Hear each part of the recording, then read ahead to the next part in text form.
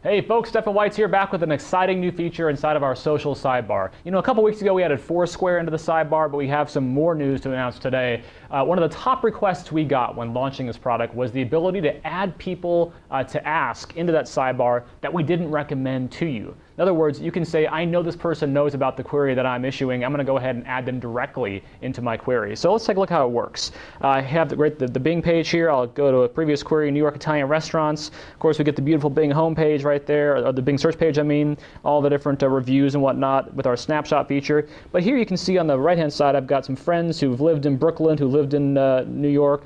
But let's say I, there's someone I know in New York that actually is going to have good recommendations on Italian restaurants. And that friend actually is my friend named Francine. So I simply now tap on Choose Friends to Notify. I type, start typing in Francine, F-R-A. There it is. It's pulling from my Facebook friends right here into the interface. I do one tap, and suddenly now Franny will be notified when I post this, this query uh, which one is the best. So you get the idea. I'm able to actually literally tag people that I know have information about that query so they can go ahead and help me with my search on Bing using the new friends tagging feature. So that is it. Hope you all enjoy it. Have a great day.